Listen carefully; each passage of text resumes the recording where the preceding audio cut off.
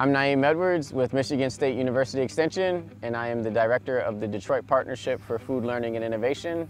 Today we'll be talking about soil health management for school gardens. These are some more mature, valuable cover crop plants that you might consider planting in the summer if you won't be gardening in the summer, or in the spring if you'll be preparing soil uh, for plants that you'll be growing in the summer.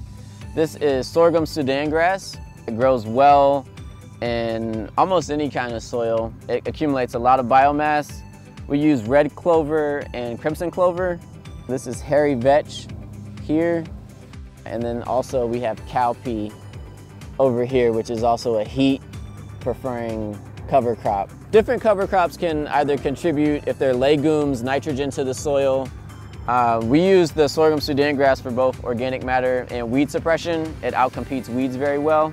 Uh, the hairy vetch and the clover add nitrogen to the soil.